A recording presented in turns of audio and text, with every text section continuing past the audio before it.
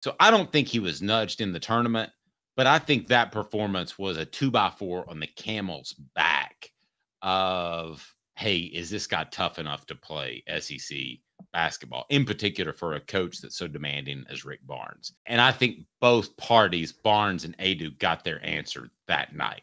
So I don't think he was nudged out, but I think both people came to a meeting of the minds that may not be the end all be all that that they wanted it to be. I, I don't know what his personal issue, what his personal life is. I don't know what he's dealing with his family, but in terms of his professional prospects, Jonas Aidoo just made the biggest mistake of his life. I, I totally agree. I think you've got a mentor and, there.